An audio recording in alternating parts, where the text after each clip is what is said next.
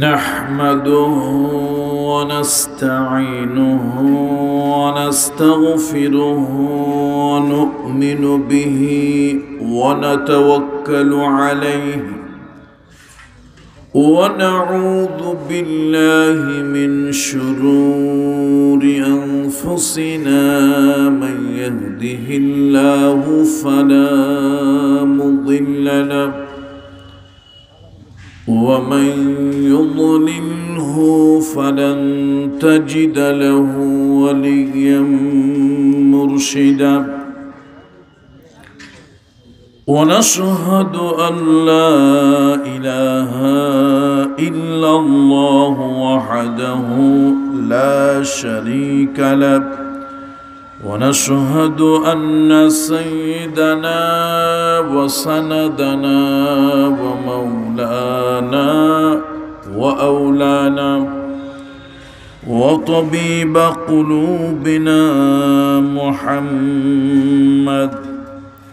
الذي أرسله بالحق بشيرا ونذيرا وداعيا إلى الله بإذنه وسراجا منيرا. فقد قال الله تعالى في كلامه المجيد والمجيد الفرقان الحميد. أعوذ بالله من الشيطان الرجيم. بسم الله الرحمن الرحيم. إن المسلمين والمسلمات والمؤمنين والمؤمنات والقانتين والقانتات والصادقين والصادقات والصابرين والصابرات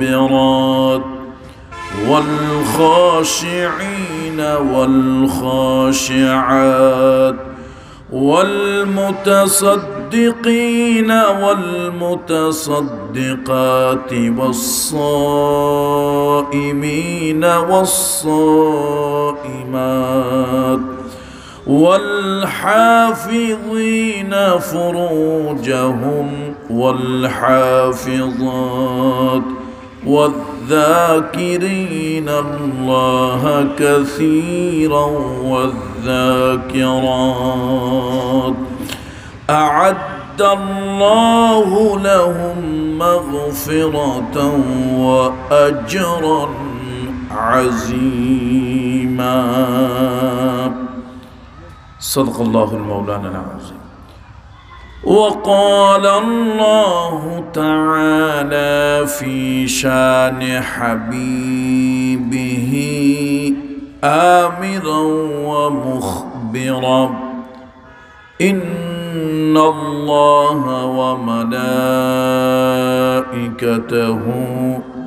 يصلون على النبي. يا أيها الذين آمنوا صلوا عليه وسلموا تسليما. اللهم صل على محمد وعلى آل محمد كما صليت على إبراهيم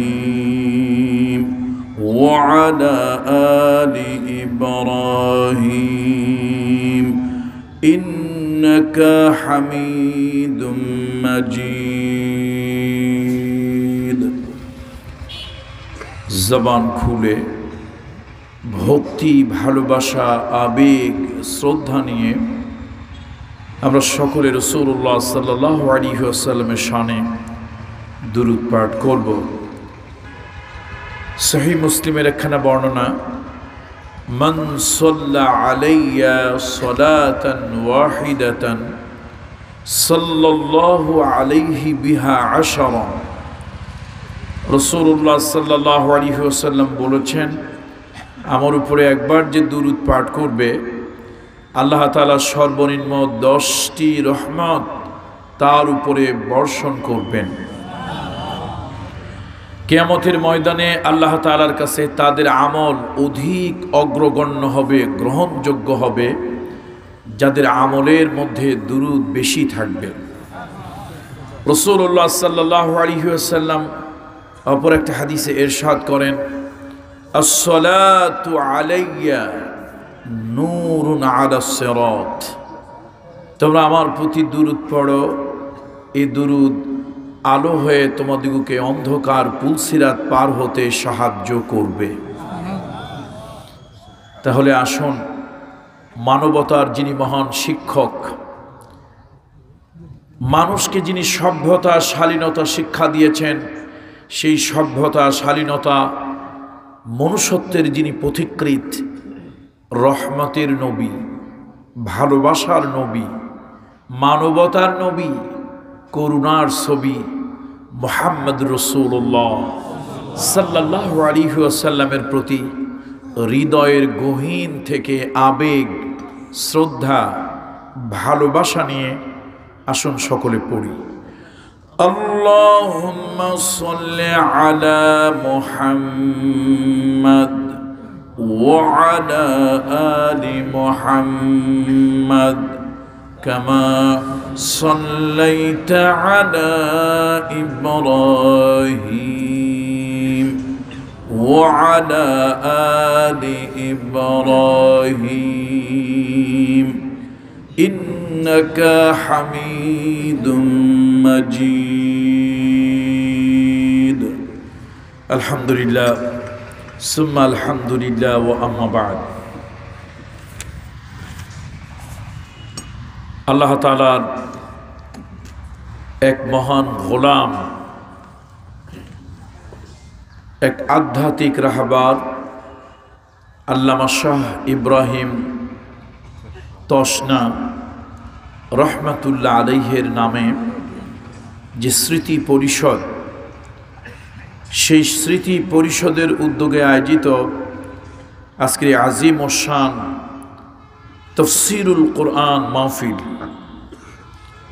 এই আজিম ওসান তফসিরুল কোরআন মাহফিলের পরম শ্রদ্ধাভাজন সভাপতি মহোদয়, সাবেক অধ্যক্ষ জিঙ্গাবাড়ি ফাজিল মাদ্রাসা হজরত মৌলানা ইবাদুর রহমান সাহেব হাফেজাহুল্লাহ। আল্লাহ তালা তাকে দীর্ঘ, সুস্থ, নেক হায়াত দান করুন। আজকের মাহফিলের অন্য অন্য সম্মানিত, সম্ভ্রান্ত উলামায় কেরম, আইম্মাতুল মাসাজিদ। বিশেষত আমার পূর্বে যারা বক্তব্য রেখেছেন হজরত মৌলানা হাফিজ আব্দুল হান্নান সাহেব, হাফিজ মৌলানা ফারুক আহমদ সাহেব, হাফিজ মৌলানা মাসুদুর রহমান সাহেব সহ অন্য অন্য সম্মানিত আলামায় কেরম, আজকের এই পড়ন্ত বিকালে আমার সামনে কোরআনের পানে চাতক পাখির মতো তাকিয়ে থাকা ইসলাম প্রিয় ধর্মপ্রিয় দিন প্রিয় সম্মানিত মুসল্লিয়ানি কেরম, বিশেষত আমার অনেক তরুণ যুবক, ছাত্র বন্ধুদেরকে দেখতে পাচ্ছি। বাজারের সর্বস্তরের সম্মানিত ব্যবসায়ী বৃন্দ পর্দার আড়লের সম্মানিতা মা ও বোনেরা, আমি সকলের প্রতি শ্রেণি মোতাবেক শ্রদ্ধা, ভালোবাসা ও স্নেহ জ্ঞাপন করছি। আসুন আমরা সকলে মিলে মহান আল্লাহ তালা শুক্রিয়া আদায় করি, পড়ি আলহামদুলিল্লাহ। আপনারা যে মজলিসটায় বসেছেন, এটি কি ছোটোখাটো কোনো মজলিস? দুনিয়ায় যদি মন্ত্রী মহোদয় তার কোনো অনুষ্ঠানে আমাদিগকে দাওয়াত দেন, আমরা নিজেরা গর্বিত হই, আনন্দ পাই, মন্ত্রী মহোদয়ের অনুষ্ঠানে আমি দাওয়াত পেয়েছি। দুনিয়ার যদি ডিসি সাহেব, এসপি সাহেবের কোনো অনুষ্ঠান, প্রোগ্রাম, কোনো জাতীয় প্রোগ্রামে আমরা কেউ দাওয়াত পাই, আমরা খুব আনন্দিত হই যে আমরা তার অনুষ্ঠানে দাওয়াত পেয়েছি। আজকের এই মজলিসটা দুনিয়ার কোনো ব্যক্তির মজলিস নয়। মাজালিসুল কোরআন, মাজালিসুল্লাহ। কোরআনের মজলিস হলো আল্লাহ তালার মজলিস সুতরাং আল্লাহর মজলিসে আসতে পারা, আল্লাহ তালার মজলিসে বসতে পারা, আল্লাহর কথা বলতে পারা, শুনতে পারা, এটা অনেক বড় সৌভাগ্যের ব্যাপার। আসুন রব্বে কারিমের দরবারে সেজদায় লুটিয়ে পড়ে শুক্রিয়া জানাই হৃদয়ের গহীন থেকে মালিক। আপনার কোরআনের মাহফিলে দয়া করে আপনি আমাদেরকে আসার বসার সুযোগ দিয়েছেন। এই জন্য আপনার কাছে লক্ষ কোটি সুযোগ পেশ করছি। আলহামদুলিল্লাহ। সম্মানিত সিলেটবাসী সিলেটই তো নাকি? কানাইঘাট উপজেলা সম্মানিত সিলেটবাসী, বৃহত্তর সিলেট হচ্ছে আলেম উলামা আল্লাহওয়ালাদের ঘাটি হিসাবে এ জমিন পরিচিত। এই মাটির সাথে আল্লাহওয়ালাদের হৃদয়ের সাথে একটা গভীর সম্পর্ক আছে। আমি নিজেকে খুব গর্বিত মনে করছি, যদিও আমার অনেক লম্বা সফর হয়েছে, খুব লম্বা সফর এবং কষ্টের সফর। যার কারণে আমি এসে অসৌজন্যমূলক ভদ্রতা কার্টিসি, সোশ্যাল কার্টিসি যেটাকে বলে, একটা সামাজিক ভদ্রতা থাকে একটা এলাকায় গেলে লোকজনের সাথে কথা বলতে হয়, একটু ভাব আদান প্রদান করতে হয়। আমি এসেই টান টান হয়ে শুয়ে পড়েছি। কারোর সাথে কোনো বাক্য বিনিময়, কথাবার্তা ওইরকম হয় নাই। তার কারণ হলো আমি খুব ক্লান্ত, স্নান্ত।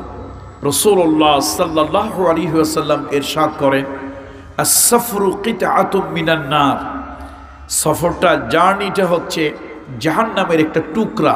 মানে এটা যা কষ্টদায়ক বিষয়, এটা বোঝানোর জন্য রহমতের নবী এইভাবে বলেছেন সোহান আল্লাহ এই জন্য আল্লাহ তালা মুসাফিরের জন্য চার রাকাত সলাদ দুই রাকাত করে দিয়েছেন, এক্সকিউজ করেছেন। আবার ফরজ রোজা রোজার সম্মান বজায় রেখে মনে চাইলে ফরজ রোজাও ছেড়ে রাখ দেওয়ার অনুমতি দেওয়া হয়েছে সোহান আল্লাহ তবে রোজার সম্মান বজায় রাখতে হবে। শরিয়াতের সম্মান বজায় রাখতে হবে। যদি প্রয়োজন হয় মুসাফিরের কষ্ট হয় তার কারণ হলো আল্লাহর ইসলাম সহজ মোল্লার ইসলাম কঠিন। বান্দার উপরে কোনো কিছু জবরদস্তি আল্লাহ তারা করেন না। তো যা হোক, আলহামদুলিল্লাহ, আমার কষ্ট হলেও আল্লামা শাহ ইব্রাহিম তসনা, তিনি অত্যন্ত বড় মাপের একজন আধ্যাত্মিক রাহাবার বুজুর্গ ছিলেন। সেই বুজুর্গের স্মৃতি বিজড়িত আজকের এই সড়ক বাজার, এই বিদ্যালয় প্রাঙ্গণে মাহফিলে আসতে পেরে খুব খুশি। লম্বা কথা বলা যাবে না, আমাদের একটা ডিমার্গেশন এরিয়া হলো সলাতুল আসর। এই আসরের আজান হবে। আমাদের উঠে যেতে হবে। তো এই পর্যন্ত আপনাদেরকে নিয়ে কিছু কথা আমি কোরআন করিম থেকে বলতে চাই। সম্মানিত উপস্থিতি, গোটা পৃথিবীতে এখন মুসলমানদের অবস্থা খুব সুখকর নয়। গোটা দুনিয়ার মধ্যে মুসলমানরা নানান ধরনের চক্রান্তের মধ্যে আছে। মুসলমানের উপরে হাজারো ধরনের চক্রান্ত চলছে। বাংলাদেশও কিন্তু তার বাহিরে নয়। অনেক আলেমল আমাদের উপরে অত্যাচার, নির্যাতন আসে, কেউ কেউ আবার দূরে দাঁড়িয়ে হাসে। কারও উপরে অত্যাচার, নির্যাতন আসে আর কেউ দূরে দাঁড়িয়ে হাসে। হাসার কোনো কারণ নাই। আজকে আপ অন্যজনকে ধরেছে, আগামীকালকে যে এইগুলির শিকার আপনিও হবেন না, এর কোনো নিশ্চয়তা নাই। সুতরাং আমাদের মুখে আপনারা হাসি দেখেন এটা হলো ওই প্লাস্টিকের হাসি। এটা হচ্ছে একটা কৃত্রিম হাসি। হৃদয় থেকে যাদের রক্তক্ষরণ হয়, মুখে তাদের স্বাভাবিক হাসি আসা সম্ভব নয়। অনেক বিষয় আছে, সে বিষয়গুলো, সে কারণে হৃদয়ে আমাদের রক্তক্ষরণ হয়। আমরা অনেক কথা জিব্বা পর্যন্ত আসে, কিন্তু মুখ ফুটে বলতে পারি না। অনেক আবেগ আমাদের কলিজা থেকে বের হয়। কিন্তু প্রকাশ করতে পারি না। বোবার যেরকম আবেগ আছে, ভাষা নাই। আজকে আমরা কোরআনের কথা ময়দানে যারা বলি, আমাদের বোবার মতো আবেগ আছে, ইমোশন আছে, কিন্তু প্রকাশ করার কোনো ভাষা নাই। আমাদের জবানগুলো বন্ধ। তার কারণ কি জানেন? অনেকের পিছনেই কেরামান কাতিবিন লাগানো আছে। বোঝেন তো কেরামান কাতিবিন নাকি? না বুঝলে আপনার মতন বেউকুফ শ্রোতার ওয়াজ শুনে কোনো লাভ নাই। কেরামান কাতেবিন লাগানো আছে। কেউ কেউ আবার কিছু কিছু সময় হুমকিও দেয়।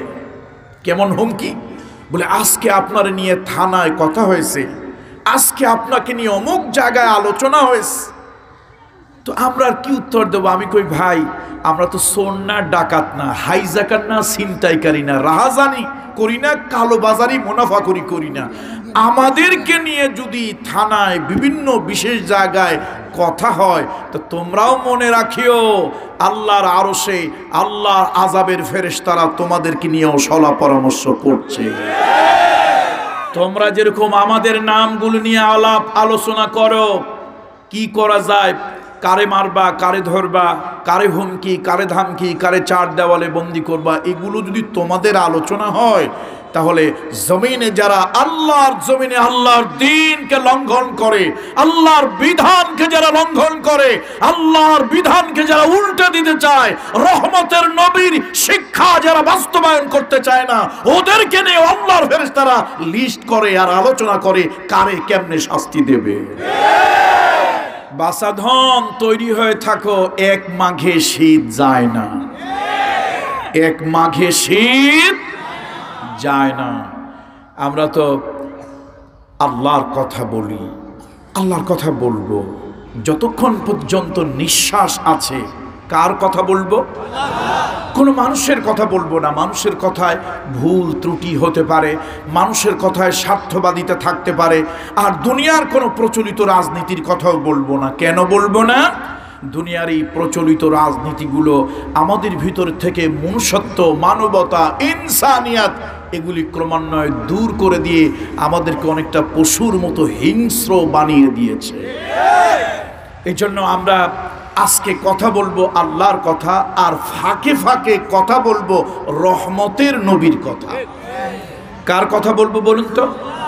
আল্লাহর কথা বলব। মাঝে মাঝে ফাঁকে ফাঁকে কার কথা বলব?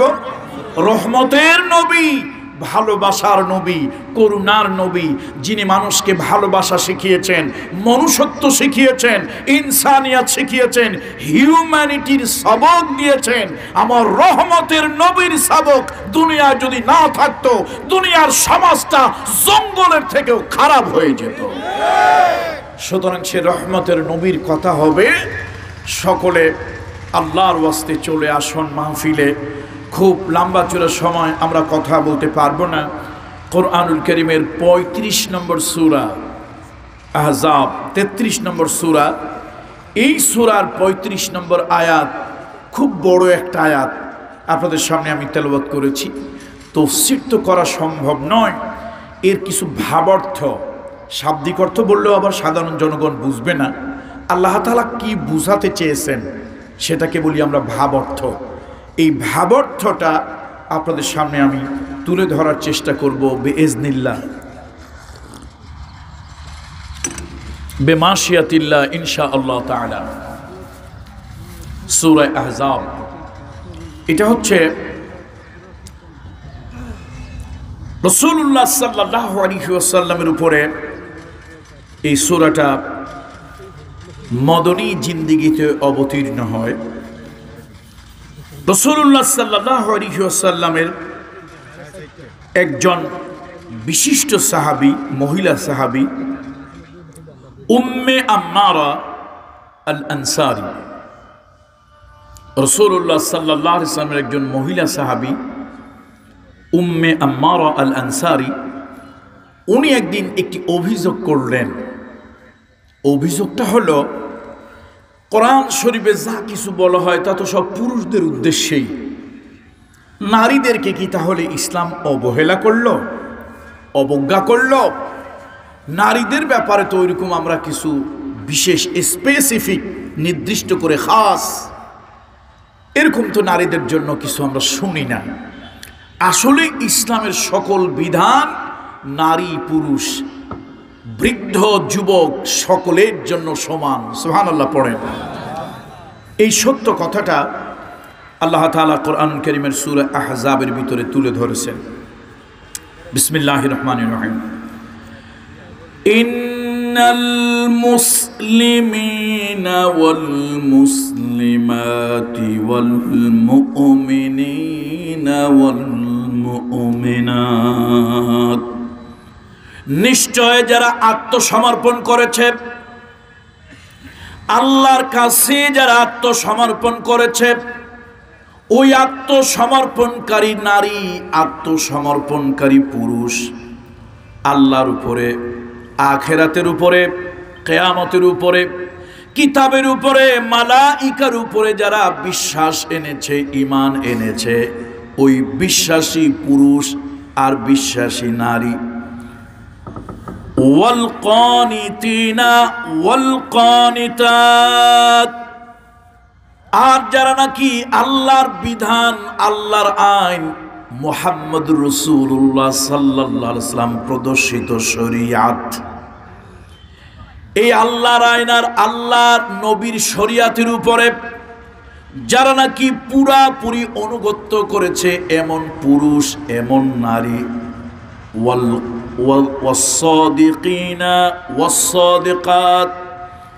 আর যারা নাকি জীবনের সকল ক্ষেত্রে সত্যবাদী, ওই সত্যবাদী পুরুষ আর সত্যবাদী নারী।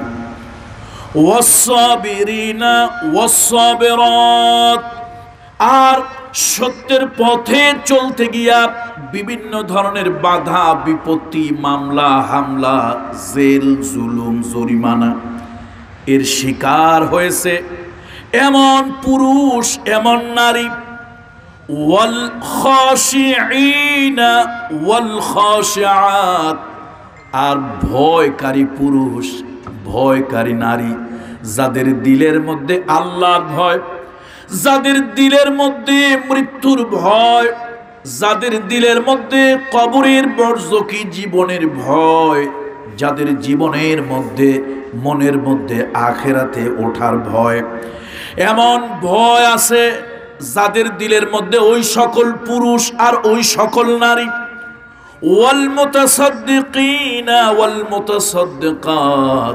আর মানবতার জন্য, সত্যের জন্য, গরিব, দুঃখী, মিসকিনের জন্য দানকারী পুরুষ, দানকারী নারী। ওয়াসসাইমিনা ওয়াসসাইমাত আর হলো রোজা পালনকারী পুরুষ, রোজা পালনকারী নারী। ওয়াল হাফিজিনা ফুরুজাহুম ওয়াল হাফিজাত নিজের ইজ্জত, আব্রুক, চরিত্র, সতীত্ব, হেফাজতকারী পুরুষ। নিজের ইজ্জত, আব্রুত, চরিত্র, সতীত্ব, হেফাজতকারী নারী। والذاكرين الله كثيرا والذاكرات আল্লাহকে অধিক পরিমাণে স্মরণ করে আল্লাহর জিকির করে সকল প্রকারের অন্যায় অসত্য কাজ আল্লাহর স্মরণ থেকে বিরত থাকে সকল ধরনের অনৈতিক কাজ আল্লাহর স্মরণ করে বিরত থাকে এমন পুরুষ এমন নারী এই কাজগুলি যারা করবে, ওই পুরুষ আর ওই নারীদের জন্য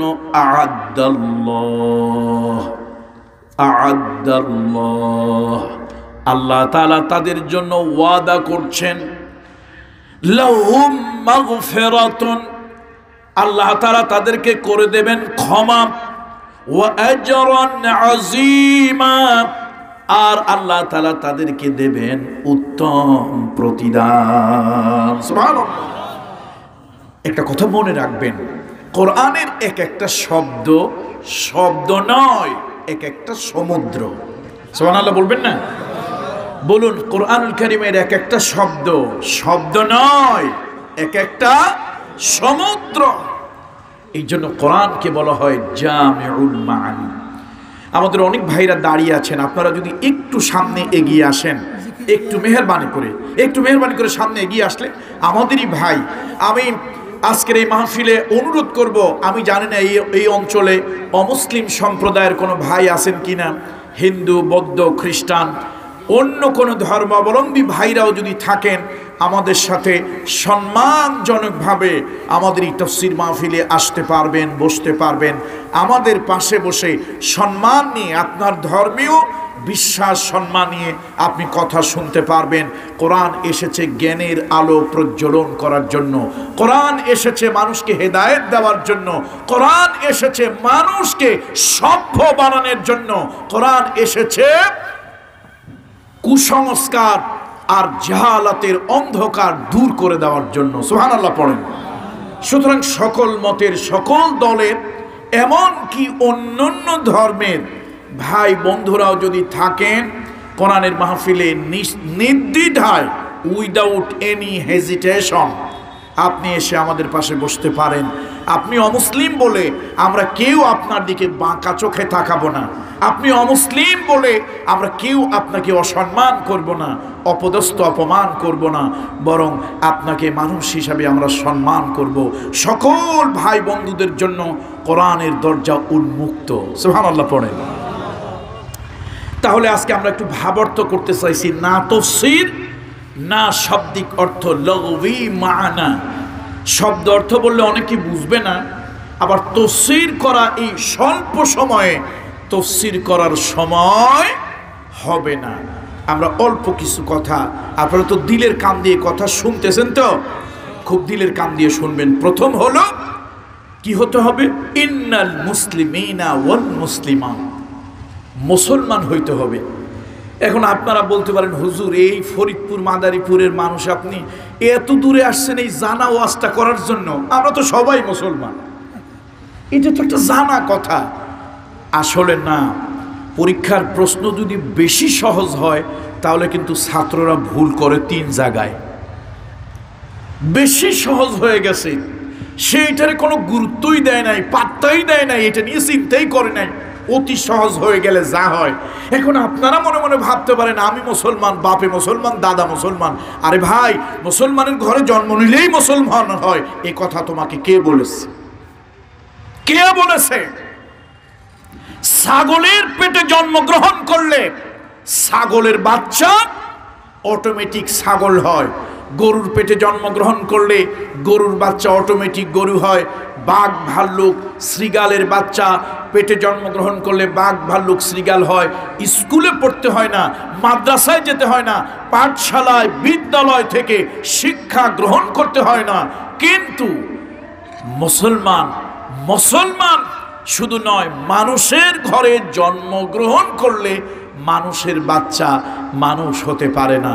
মানুষ হতে হয় কিছু তালিম তার বেয়াত শিক্ষা, দীক্ষা ইত্যাদির মাধ্যমেই মানুষের বাচ্চা মানুষ হয়। না হলে মানুষের ঘরে জন্মগ্রহণ করেও অমানুষ হয়ে যায়, ইতর, জানোয়ার, বর্বর পশু হয়ে যায়।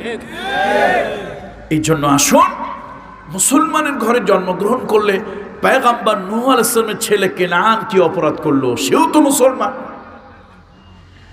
আল্লাহ নবী বদয়া করলেন।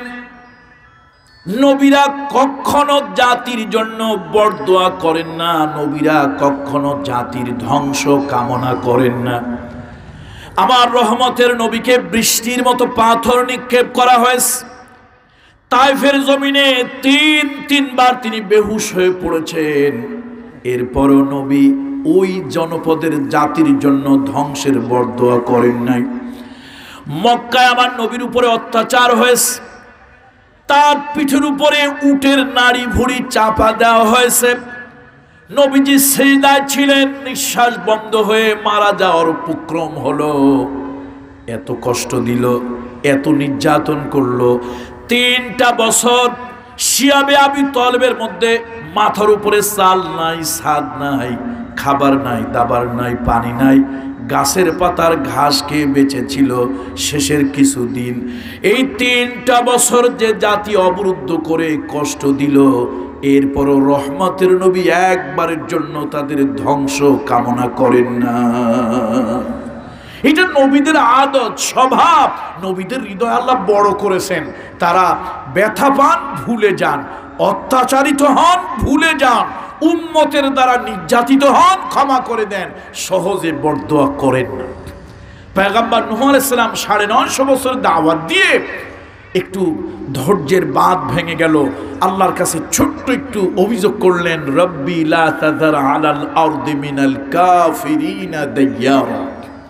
এই যে একটু ছোট্ট অভিযোগ, এটাকে আমি বড় দোয়া বলব না। একটু অভিযোগ আল্লাহর কাছে করলেন।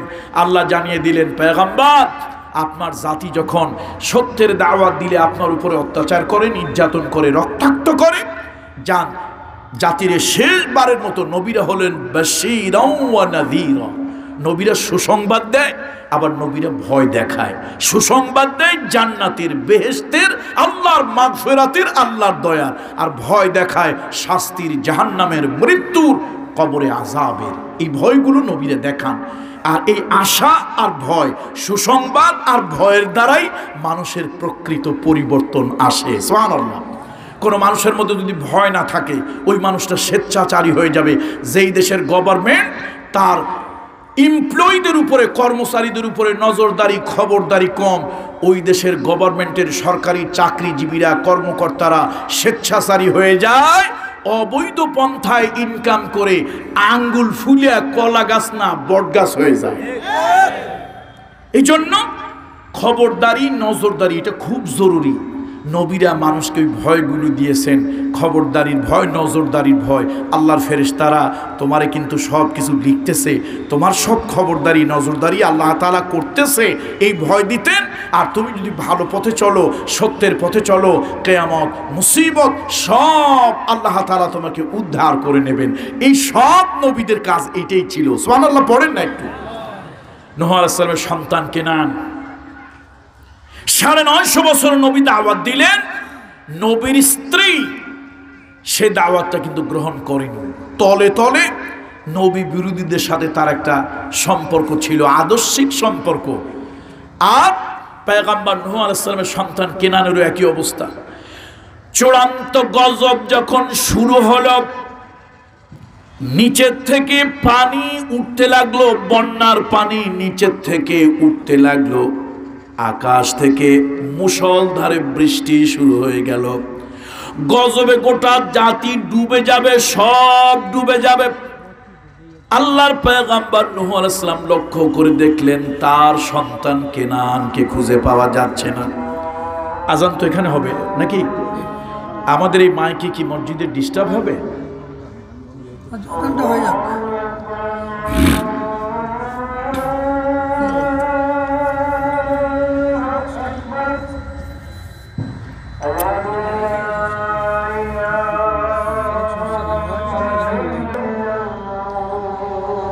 সম্মানিত মুসল্লিরা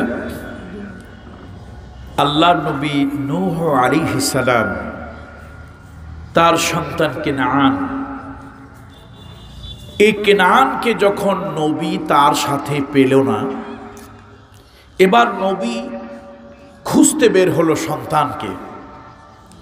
তিনি অনেক খোঁজাখুঁজির পর সন্তানকে পেয়ে গেলেন। এবং ওই সন্তানকে তিনি বললেন, ইয়া বনাইয়ার কাবানা কোরআন শরীফ বলতেছে, এটা আমার কোনো বানানো কথা নয়। সন্তান রে, ও আমার ছেলে, ও আমার কলিজার টুকরা, ইয়া বনাইয়া ইরকাব মানা। আমাদের সাথে উঠে আসো, আরোহী হও। এই বাহনের যাত্রী হও আমাদের সাথে।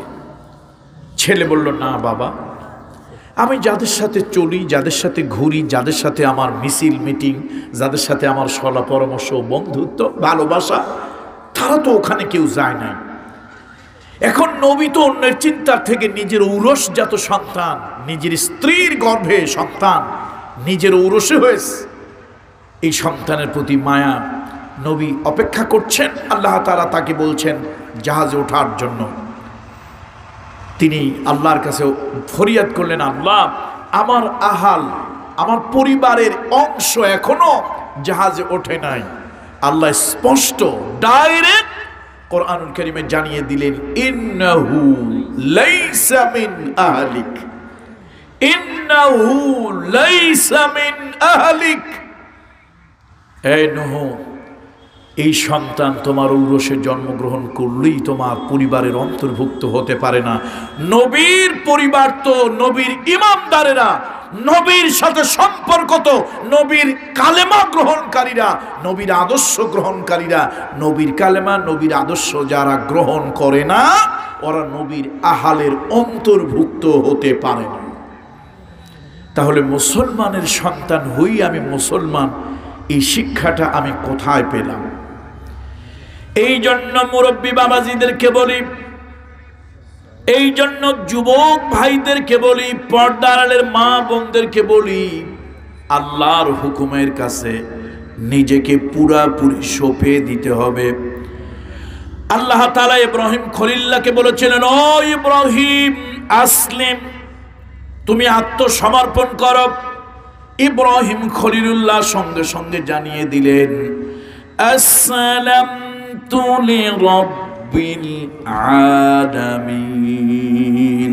আকাশ এবং জমিনের যিনি মালিক, ওই আল্লাহ তালা তার উপরে পুরাপুরি আমি আত্মসমর্পণ করলাম।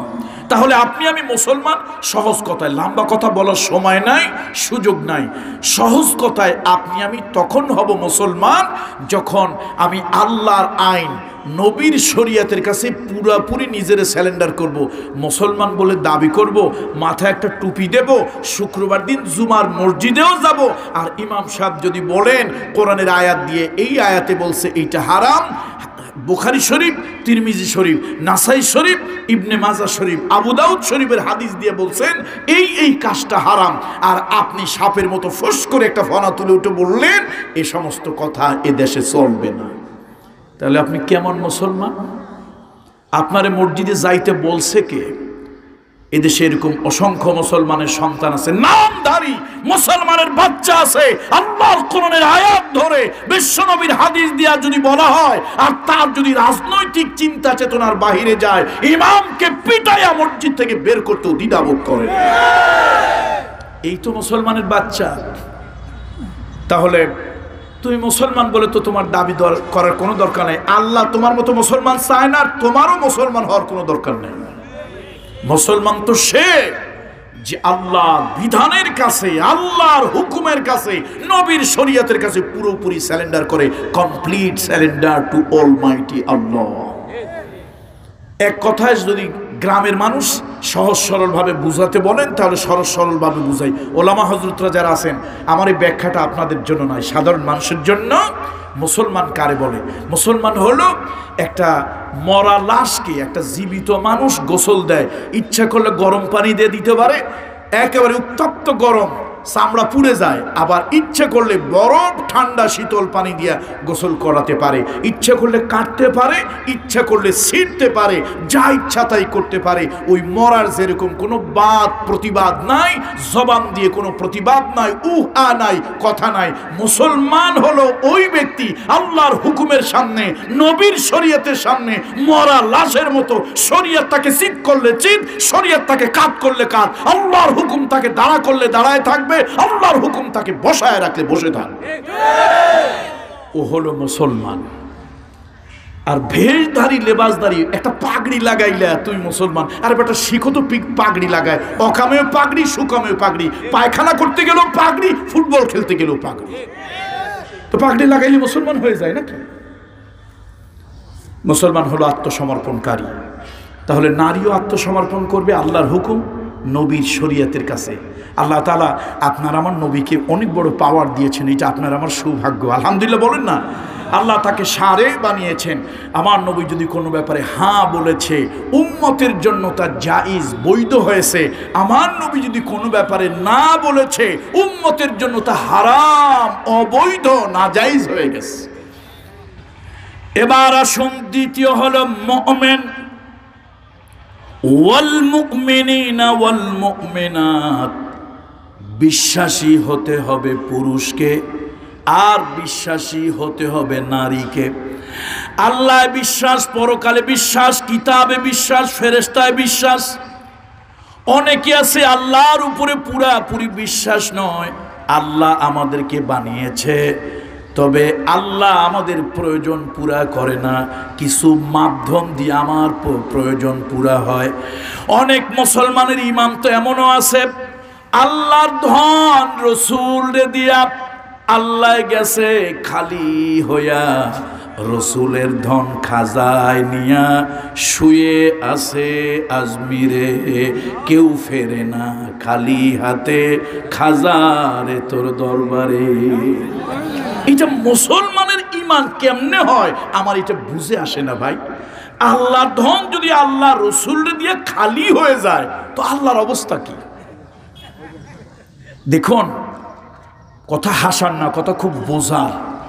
আচ্ছা বলুন তো, নবী কত আসছে পৃথিবীতে? কত? আর ভয় নাই, এখানে পরীক্ষায় পাশ ফেল নাই। হয় ভুল হবে অথবা সঠিক হবে। ভুল হলে জেনে নেব, সঠিক হলে তো আলহামদুলিল্লাহ। কত নবী আসছে?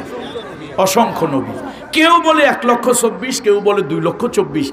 আর অধিকাংশ আকসার ওলামায় ক্রাম বলেন, অসংখ্য পেগাম্বার আম্বি আলী সালাম, যাদের প্রকৃত সংখ্যা একমাত্র আল্লাহ তালাই ভালো জানে। এই দুনিয়ায় যত নবী এলো, এই দুনিয়ায় যত নবী রাসূল দুনিয়ার মধ্যে এসেছেন, সব নবী রাসুল আল্লাহর পয়গাম্বারেরা মানুষকে ইমানের কথা বলেছেন। মানুষকে আল্লাহর বিশ্বাস, পরকালের বিশ্বাস, জাহান্নামের কথা দিয়া মানুষকে দাওয়াত দিয়েছেন। ও মানুষেরা, আল্লাহকে বিশ্বাস করো, আল্লাহকে বিশ্বাস করো, আল্লাহর ইবাদত করো। পরকাল আছে, কবর আছে, কবরের আজাব আছে, জাহান্নামের শাস্তি আছে এই কথাগুলোর জন্য দাওয়াত দিয়েছেন।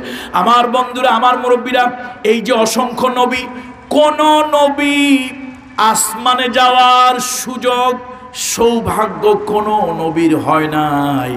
আল্লাহ তালা দয়া করে একজন নবীকে তার আরসের মেহমান বানিয়েছে কয়জন নবীকে? সে নবীকে? মোহাম্মদ রসুল্লাহ সাল্লাম দেখেন তাহলে কত বড় সম্মান। সব নবীর সম্মান একরকম, মোহাম্মদ রসুল্লাহ সাল্লামের সম্মান হলো আর রকম। তার কারণ হলো অন্যান্য নবীরা খলিলুল্লাহ, কালিমুল্লাহ, রুহুল্লাহ আর মোহাম্মদ হলো হাবিবুল্লাহ। মোহাম্মদ সাল্লাম কি? হাবিবুল্লাহ। তিনি আসমানে গেলেন। আসমানে যাওয়ার সৌভাগ্য হলো একমাত্র আসমানে যাওয়ার মেহমান হিসেবে দাওয়াত পেলেন। তবে তার দাওয়াতের কার্ডে আল্লাহ একটা শব্দ লিখে দিলেন। দাওয়াত নামার কার্ডে একটা শব্দ আল্লাহ লিখে দিলেন পড়েন কোরআন শরীফ থেকে। سبحان الذي أسرى بعبده শুনতে শুনতে আপনার আমার কথা سبحان الذي أسرى بعبده ليلا من المسجد الحرام إلى المسجد ও আমার যুবক ভাইরা, ও যুবক ভাইরা, মুরব্বীরা, বাবাজিরা পর্দারের মহিলারা, আমার কোন নবীর সৌভাগ্য হয় নাই আরও সে যাওয়া। মোহাম্মদ সাল্লা সাল্লাম আরও সে যাওয়ার সৌভাগ্য হয়েছে। আল্লাহ তারা তাকে নিমন্ত্রণ পাঠিয়েছেন। আল্লাহ তারা তাকে নিমন্ত্রণ জানিয়েছেন। আর সেই নিমন্ত্রণ পত্রের ভিতরে আল্লাহ তারা বলে দিলেন, মোহাম্মদ, তুমি আমার আব। তুমি আমার আব, তুমি আমার গোলাম, তাহলে আল্লাহ তালা সম্মান সব থেকে বেশি দিয়া আল্লাহ তাকে বলেছেন, তুমি হইলে আমার গোলাম, আমি হইলাম তোমার মালিক, তুমি হইলে আমার আব, আর আমি হইলাম তোমার সুবহানাল্লাহ। তাহলে বোঝা গেল সৃষ্টি আর স্রষ্টা, খালেক আর মখলুক আপ আর মাহবুদ কখনো একরকম হতে পারে না কিছু কপাল পড়া মুসলমান আছে, তারা বলে, যিনি আহাদ, তিনি আহমদ।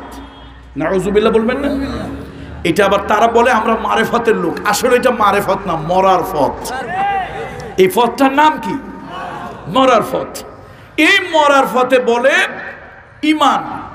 কঠিন জিনিস, এই জন্য আসুন ইমান, অনেকগুলো বিষয় আল ইমানু সাবউনা শুবাতান কওলু লা ইলাহা ইল্লাল্লাহ ওয়া আদনাহা ইমাতাতুল আনি আল হায়াউ শুবাতু মিনাল ইমান অনেক বড় লম্বা ইমান এই ছোট্ট কথায় কি আর বলা যায়? সুতরাং আসুন ইমান হলো আল্লাহর বাদ দিয়ে কোনো গাইরুল্লাহর কাছে চাইব না। আল্লাহকে বাদ দিয়ে আমার তরণেওয়ালা উদ্ধারকারী কোনো গাইরুল্লাহ হতে পারে তা বিশ্বাস করব না। এর নাম কি বলুন? এর নাম কি? অথচ মুসলমানের ইমান আজকে কোথায় গিয়েছে? আমার নিজের চোখে দেখা মুসলমান কশ্যপের কদম মুসি করে কশ্যপের কাছে গিয়ে চায়। ওই আর এক জায়গা গিয়ে দেখলাম, মুসলমান কুমিরের কাছে মানত করে, কুমিরের কাছে চায়। আর এক জায়গা গিয়ে দেখলাম, গজার মাছের কাছে মুসলমান, তার উপরে ভক্তি দেয়। ও মুসলমান, তোমার ইমান শেষ পর্যন্ত কশ্যপের উপরে, কুমিরের উপরে, গজার মাছের উপরে আর গাছের ডালে গিয়ে ঠেকছে। হাজারো মনোবাসনা পূর্ণ করার জন্য গাছের ডালে লাল, নীল, বেগুনি, সুতা বাঁধে। অথচ আল্লাহ বলছেন, হুয়াল হাইয়ুল কাইয়ুম যিনি সব ভাষা বোঝেন, যিনি চিরন্তন জীবন্ত। সেই মাহবুদের কাছে তোমার যা লাগবে, তুমি চাও না। রসুল্লাহ সাল্লাহ সাল্লাম একজন সাহাবি ছিলেন, মহিলা সাহাবি। তার নাম হলো খাউলা বিনতে সালাবা। সকলে ভক্তি সহকারে পড়েন, রদিয়াল্লাহু তাআলা আনহা। এই খাউলা বিনতে সালাবা ছিলেন মদিনার সব থেকে গরিব এবং কাজ করতে পারতেন না অকর্মান্না একজন সাহাবি। মানে কাজ, অসুস্থ ছিলেন, রুগ্ন, খিটখিটে মেজাজের ছিলেন। আউস তার স্ত্রী, এই সালাবা মানুষের বাড়িতে বাড়িতে খাউলা বিনতে সালাবা কাজ করতেন, মানুষের বাড়িতে বাড়িতে কাজ করতেন। এই কাজ করে এক কথায় যদি আমরা বলি অসম্মান করার জন্য না, নাউজুবিল্লাহ, নবীর সাহাবিকে অসম্মান আমরা করব না। বুঝানোর জন্য বলি এক কথায় তিনি ছিলেন একজন কাজের বেটি, কাজের মহিলা। সেই কাজের মহিলার কথাও আল্লাহ তালা আরশে আজিমে বসে শুনেছেন। রসুল্লাহর কানে কানে গিয়ে ফিস ফিস করে তিনি বলতে চাচ্ছিলেন ইয়ার সুলাল্লাহ আমার স্বামী আমাকে জেহার করেছে, উল্টা সিধা হইলে মারে, কিলায়, গালাগালি করে, খারাপ ব্যবহার করে, আজকে আমি কাজ কারবার করে যেতে একটু দেরি হয়ে গেছে। মেজাজ গরম করে বলেছে, আনতে আলাইয়া কা জাহারে উম্মি। জেহার করেছে আর সুরাল্লাহ আম্মাজান আয়সা পাশে বসা ছিল আম্মাজান ছোট মানুষ, বয়স কম, তিনি যেন কথা না শোনেন, অন্যের কাছে যেন বলে না দেন। মহিলা কাজ করলে তো, কাজের মহিলা হইলেও তো, তারও তো নিজের একটা প্রেস্টিজ আছে। এই চিন্তা করে নবীজির কানে কানে আস্তে আস্তে বলতেছিলেন, পর্দার আয় তখন হয় নাই। নবীজি একটু বিরক্ত হইল, মা আয়সা অপছন্দ করেছে মহিলা, তুমিও বেটি, আমিও বেটি, তুমিও মহিলা। আপনাদের দেশে বলেন, পুরি নাকি? মহিলাদেরকে কি বলেন? তুমিও পুরি, আমিও পুরি। তো তোমার এমন কি কথা আছে নবীজির কানে? তুমি বলবা, আমি শুনতে পারব না। আম্মাজান একটু বিরক্ত হয়েছে। আর আম্মাজানের বিরক্ত দেখে নবীজি একটু বিরক্ত হয়েছেন। যাও, তোমার কথা আমি শুনি নাই, তোমার কোনো সমাধান আমার কাছে নাই। সঙ্গে সঙ্গে নবীর কাছে সুরা সুরা মুজাদালা মুজাদালা অবতীর্ণ হলো। তাহলে আল্লাহর উপরে তোমার ইমানটা এরকম কেন? ওই কাজের মহিলা একজন সাধারণ নারী তার কথা যদি আল্লাহ আরও সে আজিমে বসে শোনে, তাহলে তুমি যায় নামাজ বিছাইয়া তোমার ঘরের কোণে আল্লাহর কাছে তোমার বিপদ, আপদ, বালা, মুসিবতের জন্য বললে, তোমার আল্লাহ শুনবে না। এই কথাটা তুমি কেমনে চিন্তা করলে? তোমার তো ইমানই ঠিক হয় নাই। তুমি কিসের সাঁতার মুসলমান? তোমার কি ঠিক হয় নাই? ইমান ঠিক হয় না এই জন্য আসুন, ইমান অনেক বড় ব্যাপক বিষয় যা নিয়ে আমি এখন কথা বলতে পারব না। আমাদের এই বিশ্বাসটা ঠিক হওয়া দরকার। এরপরে, ওয়াল কনিতিনা ওয়াল কনিতাত। অনুগত্যশীল হতে হবে দিনের প্রতি। আপনি মুসলমান বলে দাবি করবেন, গরুর গোস্তও খাবেন, আবার শরীয়তের কিছু কথা শুনলে ফস করে উঠবেন। কিছু মুসলমান আছে অতি ভক্তি দেখায় না, শরিয়াত যেমনে বলছে আপনাকে ওইভাবে পালন করতে হবে। ইসলামী শরিয়াত যেইভাবে বলেছে, আপনাকে যদি সিট করে বলে, আপনি সিট হবেন। কাত হতে বলে, কাত হবেন। যা বলেছে তাই শুনবেন। আপনার ব্যাখ্যা ব্যাখ্যা নয়। আমাদের দেশে কিছু মুসলমানের বাচ্চা আছে, নিজেদেরকে মুসলমান এবং ইমানদার বলে দাবি করে, তবে শরিয়াতের সব ব্যাপারে তারা আনুগত্য করতে রাজি। আবার বলে কি, কয় যে হুজুররা অপব্যাখ্যা করে ইসলামের। আলহামদু সুরা, সুরে ফাতেহাটা সহিশুদ্ধ করে পড়তে গেলে পায়জামা গরম হয়ে যায় প্রস্তাব পায়খানায়। আলহামদু সুরা, সুরে ফাতেহাটা সহিশুদ্ধ করে পড়তে পারেন না তেলবাদ করতে পারেন না, তারা বলে আলেমরা নাকি ভুল ব্যাখ্যা, অপব্যাখ্যা করে। আমি বলি না, করতেও পারে। আলেমরা ভুল ব্যাখ্যা করতেও পারে। আচ্ছা একজন আলেমের অপব্যাখ্যা, ভুল ব্যাখ্যা ধরবে কে? আরেকজন আলেম, রাইট। এমবিবিএস ডাক্তার প্রেসক্রিপশনে ভুল করতেও পারে, ভুল হতে পারে, তার ভুলটা ধরবে এমবিবিএস এফসিপিএস এপারসিএস উনি ধরবেন। কিন্তু খেয়াঘাটের মাঝি আর ঠেলা গালি চালক যদি গিয়ে বলে, ডাক্তার সাহেব, আপনি তো প্রেসক্রিপশনে প্রেসক্রাইব করতে ভুল করেছেন। এটা যদি বলে, এটা হাস্যকর। এটা কি? জোরে বলুন কি? হাস্যকর। তোমরা সুরে ফাতেহাটা ঠিক মতো পড়তে পারো না। আউজুবিল্লাহ বলতে ভুল হয় বিসমিল্লাটা উচ্চারণ ঠিক হয় না। আর তোমরা বলো, আলেমরা নাকি ধর্মের ইসলামের অপব্যাখ্যা করে। আরে বেটা, ইসলাম শরিয়ত যেভাবে বলেছে, আলেমের ব্যক্তিগত হয়তো আমল খারাপ হতে পারে। ইসলামী শরিয়ত যেভাবে বলেছে, আলেমরা শরিয়তকে সেভাবেই বলে। কথা ঠিক কিনা যারা বলুন? সেভাবেই বলে। একবার শুনছিলাম একটা গল্প। গল্পটা হলো দেশের নাকি ডাক্তারেরা ধর্মঘট করেছে। ধর্মঘটটা কারা করছে? ডাক্তাররা। এখন সরকার ডাক্তারদের দাবি দেওয়া মানে না, ডাক্তারের আর চিকিৎসা দিতে যায় না। শেষে সরকারের বুদ্ধিজীবীরা সরকারের বুদ্ধি দিল, স্যার শোনেন, ডাক্তারও শিক্ষিত, ইঞ্জিনিয়ারও শিক্ষিত। খামাখা ডাক্তারের পিছনে পিছনে দৌড়াবো কেন? শিক্ষিত হইলেই তো হয়েছে সরকার বলল কত তো ঠিক, যুক্তি আছে কথায়। ডাক্তারও শিক্ষিত, ইঞ্জিনিয়ারও কি ইঞ্জিনিয়ার কি মূর্খ নাকি? কথাবার্তা যেভাবে বলতেছেন না, মনে হয় যেন ইঞ্জিনিয়ার মূর্খ। ডাক্তারও শিক্ষিত, ইঞ্জিনিয়ারও? তো সমস্যা কি? ডাক্তার যখন ধর্মঘট করছে, লাগবে না তোমাদের। এই আগামীকাল থেকে ইঞ্জিনিয়ার চিকিৎসা দেবে। এই ফরমান যখন গেছে, রুগীরা যার যার এদিক সেদিক পালায়, এক ঠ্যাং ভাঙ্গা রুগী বারবার চেষ্টা করে বের হইতে, রুগীদের ভিড়ে পারে না। শেষে জাংলা দিয়ে জোরে বের হতে যায়। আরেকজন জিজ্ঞেস করে, ভাই, এরকম অস্থির হয়ে দৌড়ো কেন? কয়, ভাই, ডাক্তারের চিকিৎসা ইঞ্জিনিয়ার করবে, না জানি কোন জাঙ্গার ইঞ্জেকশন কোন জায়গায় দিয়ে বসে। এই ভয়তে পালাই তো এখন কোরআন এবং হাদিসের শরিয়াতের ব্যাখ্যায় আল্লাহ না করুন কোনো আলেম ভুল করতেও পারে। আল্লাহ না করুন কোনো আলেম কি কথা বলেন না কেন? ভুল করতেও পারে। সে ভুলটা ধরবে কে? অথচ এমন একজন ব্যক্তি যার চরিত্র ঠিক নাই, মাথায় চুল নাই। ফাইভ স্টার ছাড়া থাকেন না, দুবাই গিয়া রেড স্টারে টান টান হয়ে শুয়ে আছে। সেই ব্যক্তি আলেমদের সাথে বহস করবে, উনি নাকি অনেক কিছু জানে। তাহলে বোঝা গেল পাগলেরও মাথা খারাপ হয়। পাগলেরও কি হয়? মাথা খারাপ হয়। এরকম দুনিয়ায় অনেক পাগল আছে। এই জন্য বলি, আসুন, ওয়াল কনিতিনা ওয়াল কনিতাত। এই শোনো, তোমার চিন্তা তোমার কাছে। শোনো, তোমার বুঝ তোমার কাছে। আল্লাহর শরিয়াত আল্লাহ যেভাবে ব্যাখ্যা করেছেন, আল্লাহর শরিয়াত নবী মোহাম্মদ যেভাবে ব্যাখ্যা করেছেন, ইসলামকে ওইভাবেই তোমাকে মানতে হবে, এর বাহিরে নয়। কথা কি বুঝাতে পারছি না পারি নাই? আল্লাহ এবং রসুল যেভাবে ব্যাখ্যা করেছেন, সেভাবেই মানতে হবে। এর বাহিরে নয়। অলকনিতিনা অলকনিতা আনুগত্যশীল পুরুষ, আনুগত্যশীল নারী। ওয়াসদিকিনা ওয়াসদিকাত আর সত্যবাদী পুরুষ হতে হবে, সত্যবাদী নারী হতে হবে। এখন কি দুনিয়ায় কোনো মিথ্যা আছে? সত্যবাদী এটা আগের যুগে ছিল সত্য মিথ্যা, এখন কিন্তু দুনিয়ায় কোনো মিথ্যা নাই, যাহা কিছু বলেন সব সত্য। দুনিয়া এখন যাহা কিছু বলেন, শুধুমাত্র শয়তান গাছের ডালে দাঁড়ায় দাঁড়ায় মাঝে মাঝে চিন্তা করে, আল্লাহ, আমি আর কি শয়তান? এরা তো আমার থেকে বড় শয়তান। শয়তান কিছু কিছু লোকরে মাঝে মাঝে ডেকে কয়, ভাই, তোর পাও দুইখান একটু আমার কাছে আগায় দে, আমি একটু কদম বসি করি। কেন? আমি বেহেস্তে মিথ্যা কথা বলছিলাম দুজনের সাথে। দুজনের নাম বলেন তো একটু। বাবা আদম, আবুল বাসার আবুল বাসার আদম সফিউল্লাহ, মানব জাতির পিতা। তার সাথে একটু মিথ্যা বলছিল আর মা হাওয়া আলাইহা সালাম তার সাথে মিথ্যা বলছিল। শয়তানের কিন্তু ঠোঁট কাঁপছিল, গলা কাঁপছিল, বুক কাঁপছিল, এরকম ডাহা মিথ্যা কথা। গ্রাম দেশের মহিলার কয় ঠাডা পড়া মিথ্যা।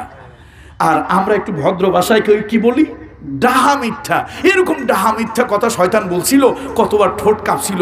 কিন্তু এখন দেখা যায় অনেক মানুষ আছে, মিথ্যা যে বলে ভাই, মনে হয় বাসার থেকে গ্লিসারিন লাগায় আসছে ভেজদিন লাগায় আসছে, ক্যামেরার সামনে, মাইকের সামনে ঠাস ঠাস করে মিথ্যা কথা বলে। না ঠোঁটে বাঁধে, না জিব্বায় বাঁধে। শয়তান গাছের ডালে দাঁড়ায় চিন্তা করে, ভাই, তোর মতো শয়তান যখন দুনিয়া আছে, আমার কষ্ট করে ডিউটি করা লাগবে? সুতরাং দুনিয়া এখন মিথ্যা বলে কিছুই নাই, যাহা বলিবেন সবই সত্য। আর যদি সেটা মিডিয়ার ভাষায় হয়, তাহলে তো আরও বেশি সত্য। কিন্তু না, কোরআন বলেছে, তোমাকে প্রকৃত সত্যবাদী হতে হবে।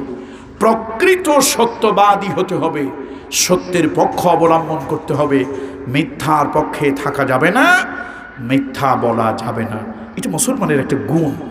এরপরে ওসবিরিনা ওসবিরা দেখেন আল্লাহর বাচন ভঙ্গি দেখেন, আল্লাহর শব্দ চয়ন দেখেন।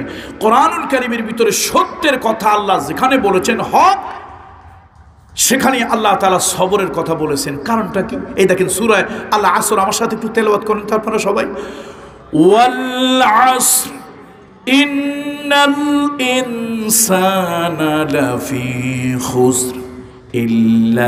লাফি আমানু وعملوا الصالحات وتواصوا بالحق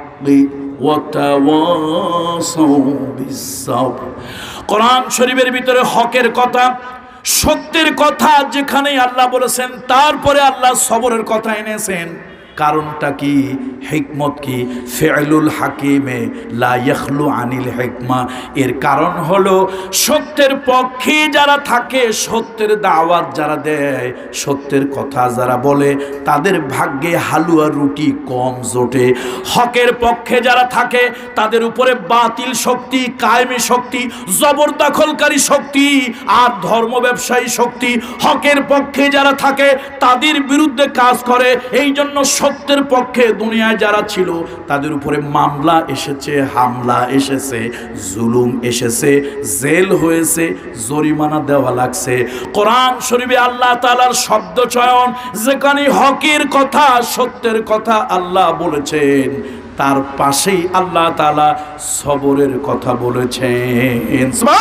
তাহলে বোঝা গেল সত্যের পথ কঠিন পথ। বলুন, সত্যের পথ সত্যের পথ দুর্গম পথ, সত্যের পথ জালিমের জুলমের পথ। কত মৌলবীরা কত মৌলবীরা হালুয়া রুটি খায়, আবল ফজল মার্কা।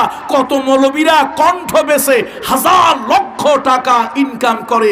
আর কত মৌলবীরা হকের পক্ষে কথা বলার কারণে জেলখানার চার দেওয়ালের অন্ধকার প্রকষ্টিত এটা দুনিয়ার নিয়ম, শুধু আমার না, এই দুনিয়ার পৃথিবীর সব থেকে বড় আইজিন কে বলতে পারবেন? আজকে একটা প্রশ্ন হোক আপনাদেরকে একটা না আমার নবীকে বাদ দিবেন সকল ক্ষেত্রে। আমার নবী হলো এক্সেপশনাল আমার নবীর সাথে কারও তুলনা উপমা মেসাল দৃষ্টান্ত এক্সাম্পল চলে না দুনিয়ার সব থেকে বড় কে বলতে পারবেন? হ্যাঁ রাইট জাজাকাল্লাহ আল্লাহ তালা দীর্ঘ নেক হায়াত দান করুন। পৃথিবীতে যত আইজিন যত বক্তা যত লেকচার দানকারী সব থেকে বড় ওয়াজিন, বড় লেকচার দানকারী, বড় বক্তার নাম হলো হজরত লোকমান। কেমনে বড় হইল? যার ওয়াজ স্বয়ং আল্লাহ পছন্দ করিয়া রেকর্ড করছে। দেখেন একজনের ওয়াজ পছন্দ হইলে মানুষ একটু রেট রেকর্ড করে টেপ রেকর্ডার দিয়ে করে ক্যামেরা দিয়ে করে ভিডিও দিয়ে করে, কতভাবে করে। যার ওয়াজ পছন্দ, যার তারটা রেকর্ড করে, শোনে। এই দুনিয়ায় একজন লোকের ওয়াজ আল্লাহর পছন্দ হয়েছে আল্লাহ নিজে রেকর্ড করে কোরআন শরীফের ভিতরে তা কপি করে দিয়েছেন আল্লাহ তার নাম হলো হজরত লোকমান তার নাম কি সেই লোকমান সেই লোকমানও একটা কথা কোরআন শরীফে বলেছে দামি একটা ওয়াজ يا بني أقم الصلاة وأمر بالمعروف وانهى عن المنكر واصبر على ما أصابك إن ذلك من আজমিল উমুর। হজরত লোকমান তার সন্তানদেরকে বলেন, ও করিজার টুকরা সন্তানেরা, নামাজ কায়েম করো, নামাজ কায়েম করো জাকাত আদায় করো, সত্যের পক্ষে থাকো, হকের দাওয়াত দাও, সত্যের দাওয়াত দাও, অন্যায় অসত্য কাজে বাধা দাও, যদি সত্যের দাওয়াত দাও, অন্যায় অসত্যের কাজে, খারাপ কাজে, মদের কাজে, জুয়ার কাজে, নারীবাজির কাজে, আর যদি জবরদখলকারীদের আর ধর্ম ব্যবসায়ীদের কাজে যদি বাধা দেও, তোমার উপরে মামলা আসবে হামলা আসবে জেল আসবে জুলুম হবে জরিমানা হবে ফাঁসির মঞ্চে চড়া লাগবে। ওয়াসবির ওয়াসবির এমতো অবস্থায় তুমি বিচলিত হইও না ধৈর্য ধারণ করো। ইন্নাদিকামিন আজমিল উমুর। তুমি ভাববে না তুমি শেষ হয়ে গেছো। না কিচ্ছু হয় নাই। ফাঁসির মঞ্চে চড়ো তুমি ভাববে। এটাই হলো তোমার জীবনের বড় অর্জন এই জন্য বন্ধুরা আমার, হকের দাওয়াত, সত্যের পক্ষের দাওয়াত যেখানে আছে, আল্লাহ পাশে কি বলছেন বলেন তো? আরে কথা বলে না, কি বলছেন? সবরের কথা বলেছেন। সত্যের কথা, হকের কথা যেখানে বলেছেন, আল্লাহ সবরের কথা বলেছেন। ধৈর্য ধারণ করো, ধৈর্য ধারণ করো। ধৈর্যই হলো তোমার আসল পরিচয়। সুতরাং মেন মুসলমানদেরকে সত্যবাদী হতে হবে এবং সত্যের পক্ষে থাকতে গিয়ে, সত্য কথা বলতে গিয়ে যদি কোনো বিপদ, আপদ, বালা, মুসিবত আসে, তাহলে ধৈর্য ধারণ করতে হবে। তবে অবস্থার আলোকে কখনো সত্য বলা থেকে চুপ থাকা, এটা হলো ইসুফ আলাহামের সুন্নত। কখনো কখনো, সবসময় না, কখনো কখনো জালিমের জুলমের ভয়ে সত্য বলা থেকে চুপ থাকা কার সুন্নত? আপনারা কি আমার কথা বিশ্বাস হচ্ছে না? যেমন বাস্তব প্রমাণ দিচ্ছি ইসুফ আলাহিসামকে কোথায় ফেলেছিল ভাইরা কোন জায়গায়? কুয়ার মধ্যে। কুয়ার মধ্যে ফেলল। আল্লাহ তালা ইউসুফ আলাহিসামকে দিলের মধ্যে এলকা, এলহাম দিয়ে দিলেন, ইউসুফ, ঘাবড়াইও না। তোমাকে আমি আল্লাহ অনেক বড় একটা মঞ্চে উঠাবো। ওইটা হলো মিশরের সাম্রাজ্য দেব। এই দুনিয়ায় মঞ্চ যত উঁচু হয়, উঁচু মঞ্চে ওঠার জন্য ততগুলি সিঁড়ি বাইতে হয়। বলুন, মঞ্চ যত উঁচু হয়, উঁচু মঞ্চে ওঠার জন্য ততগুলি সিঁড়ি বাইতে হয়। ইসুফ আমি তোমার অনেক উঁচায় উঠাবো। এটা হলো তোমার উঁচায় ওঠার প্রথম সিঁড়ি। ইসুফ আলাইসালাম ধৈর্য ধারণ করে কুয়ার মধ্যে আসে। এমন সময় আল্লাহর কি কুদরত? কোন জায়গা থেকে এক বিশেষ ব্যবসায়ী, জগৎ বিখ্যাত একজন ব্যবসায়ী, মিশরে পণ্য নিয়ে যাওয়ার ক্ষেত্রে ভুল করে ভিন্ন দেশ, কেনান নামক দেশে চলে আসছে। এরপরে তারা খাদ্য খাবার তৈরির জন্য বালতি ফেলল। আল্লাহ তালা ইসুফ আলাহিসামের দিলের মধ্যে এলকাইল হাম দিলেন ইউসুফ। এই বালতির মধ্যে তুমি উঠো। ইসুফ আলাইসালাম বালতির মধ্যে বসলেন, শক্ত করে বালতির রশিটা ধরলেন। বেচারা বাবুরসি রশি ধরে টানে, পানি আর ওঠে না। মনে মনে চিন্তা করে, দুনিয়ার কত দেশে ঘুরলাম, কত কুয়ার থেকে পানি তুললাম, বাবার জন্মে এইরকম ভারী পানি কোনোদিন উঠাই নাই। শেষে আরও দু একজনের ডাক দিছে ভাই, তোরা একটু আয়, আমি তো পানি তুলতে পারতেছি না। শেষে এই কয়েকজন মিলে রশি ধরে খুব কষ্ট করে উঠাইছে। বালতিটা যখন কুয়ার মুখের কাছে আসছে, তখন সে আবেগে, অতি আবেগে একটা চিৎকার মারছে। এটা আমার কথা নয়, কোরআনুল করিমের কথা। অতি আবেগে একটা চিৎকার মারছে। ইয়া আরে কি আশ্চর্য! আমি পানি তোলার জন্য বালতি ফেললাম কুয়ায়, আর আমার বালতির মধ্যে চোদ্দ তারিখের পূর্ণিমার চাঁদ বসে আছে।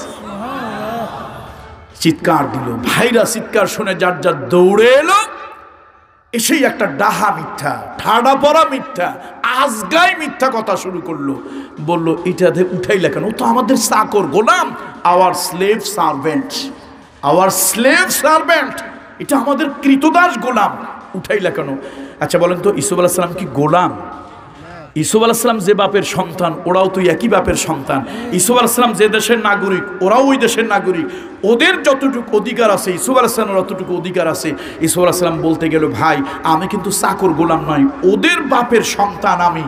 আমি ওই দেশের নাগরিক, আমি স্বাধীন মানুষ, গোলাম না। একজন উঠে বলল, বেটা, সত্য কথা যদি বলিস, এতক্ষণ তো জানে মারি নাই, এইবার একেবারে জানে মেরে দেবো। ইসুফ আলাহিসাম দেখলেন, দশটা জালিমের সামনে আমি যদি চিৎকার করে সত্যের পড়া বাক্য বলি, এই জালিমের আমার কণ্ঠরোধ করবে, আমার জীবন হনন করবে। আপাতত জীবন বাঁচানোর জন্য হিকমত, অন্তত জালিমদের সামনে কি করে থাকা? চুপ করে থাকা। তিনি গোলাম নন, কিন্তু তাকে মিথ্যা তহমত দিয়ে স্বাধীন মানুষ গোলাম হিসেবে বিক্রি করল। তাহলে কোনো দেশে, কোনো সমাজে, কোনো রাষ্ট্রে যদি জালিমদের প্রভাব বেড়ে যায় আর নিরহ, নিরপরাধ মাজলুমকে যদি তারা স্বাধীনতা, সার্বভৌমত্ব খর্ব করে, নির্যাতনের স্টিম রুলার চালায়, ওই যে জীবন বাঁচানোর জন্য জালিমদের সামনে চুপ থাকা হলো কার সন্ন্যত ইসুফ আলাহিসেমের সুন্নত। না হলে তো জীবন বাঁচে না। এরকম কিছু জালিমদের দেশে, দুনিয়ায় কিছু লোকজন আছে কি নাই? এরকম কিছু জালিমদের সমাজে কিছু লোক থাকে। যা হোক কথা অনেক হলো। ওয়াল খসে ইনা ওয়াল খসে আর আল্লাহকে ভয় করতে হবে।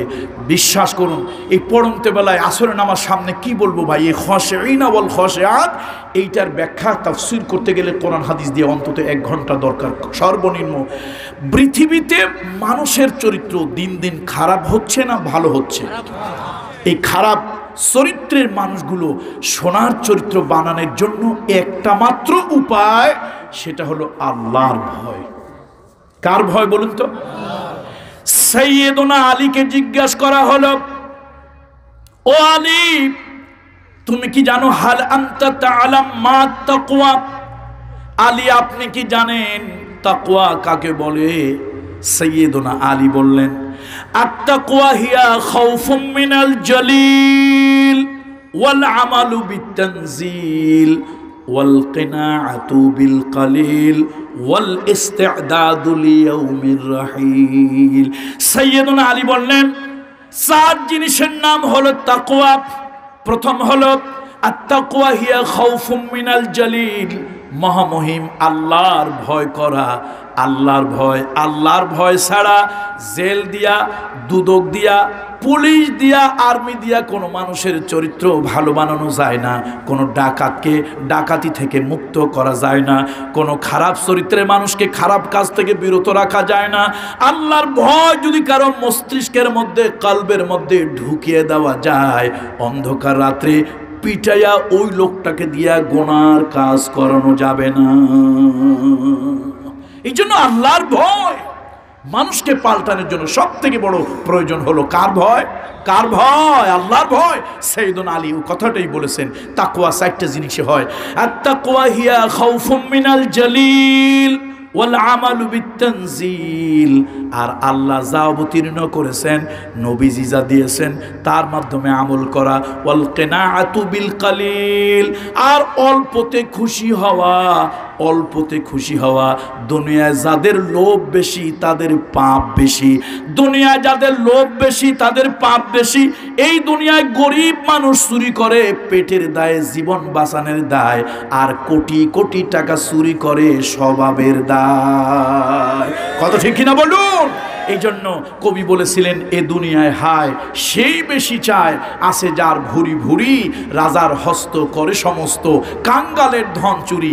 রবীন্দ্রনাথ ঠাকুর সম্ভবত কথাটা বলেছিলেন দুনিয়ার লোভের কারণে মানুষ চুরি করে, ডাকাতি করে, কেউ পেট বাঁচানোর জন্য করে, আর কেউ টাকার পাহাড় গড়ার জন্য করে, হাজার হাজার কোটি টাকা, এটা কি ডিম খাওয়ার জন্য, ডাল খাওয়ার জন্য, রুটি আর ভাত খাওয়ার জন্য করে?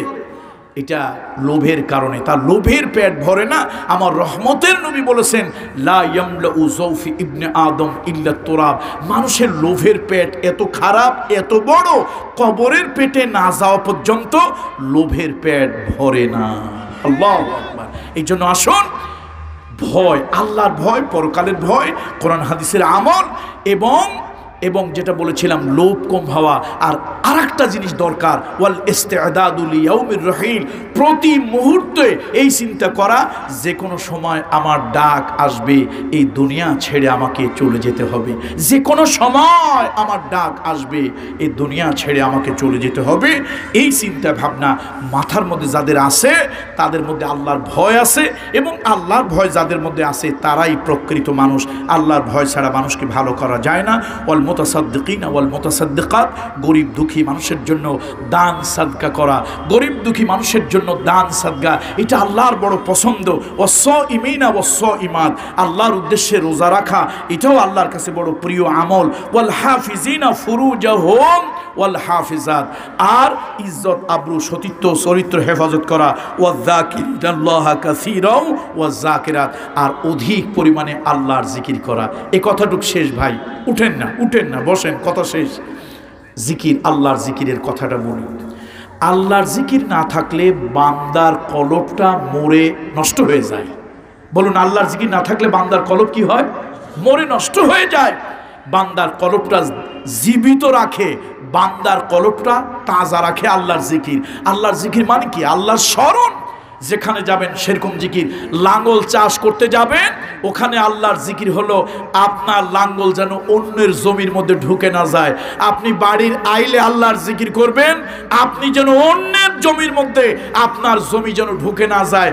পরের জমি তিন হাত দখল করে খায়, এরপরও আইলে দাঁড়াইলে মনে হয় ভিতরে আরও দুই হাত পায়। এরকম চরিত্রে কিছু লোকজন আছে কিনা? সুতরাং অফিসে গিয়ে আল্লাহ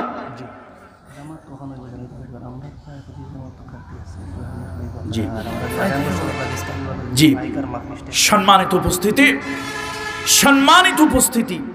যে কথা বলতে যাচ্ছিলাম যে কথা বলতে যাচ্ছিলাম আটটা দশটা বিষয়ের উপরে আল্লাহ তালা বলেছেন এই দশটা বিষয় সর্বশেষ হলো জিকির। জিকির ছাড়া মানুষের কলব সাফ হয় না। জিকির ছাড়া গোনা মাফ হয় না। আর জিকির, মসজিদের জিকির একরকম। কোরআন তেলাওয়াত, এটাও একটা জিকির। এটা আর রকম। অফিসের জিকির একরকম অফিসের জিকির হলো আল্লাহর ভয়ে ঘুষের টাকা লেনদেন করা যাবে।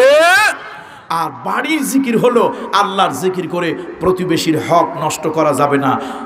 মাঠের জিকির হলো নিজের লাঙ্গল দিয়ে অন্যের জমির মধ্যে ঢোকায় দেওয়া যাবে না। এই জিকির থাকলে আল্লাহর জিকির দ্বারা মানুষের কল্প সাফ হয় গোনা মাফ হয়।